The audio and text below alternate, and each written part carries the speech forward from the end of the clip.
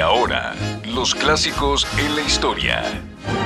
Junio 29. En el año 1900 es establecida la Fundación Nobel, la cual reconoce a personas que hayan realizado investigaciones sobresalientes y contribuciones notables a la sociedad.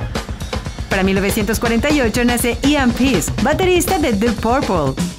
En 1953 llega al mundo Colin Hay, vocalista de Men at Work. 1957, el gobierno de Irán prohíbe oficialmente el rock and roll, luego de declararlo dañino para la salud. Esta prohibición se mantendría hasta los 90. En 1968 se celebra un concierto gratuito en el Hyde Park de Londres, con Pink Floyd, Jethro Tull, T-Rex y Roy Harper. Al año siguiente, The Jimi Hendrix Experience toca su último concierto en el Denver Pop Festival. Para 1985, David Bowie y Mick Jagger graban el tema Dancing in the Street. En 1998, George Harrison hace público que padece cáncer de garganta, motivo por el que fallecería tres años después. Conectamos cada historia con tu época.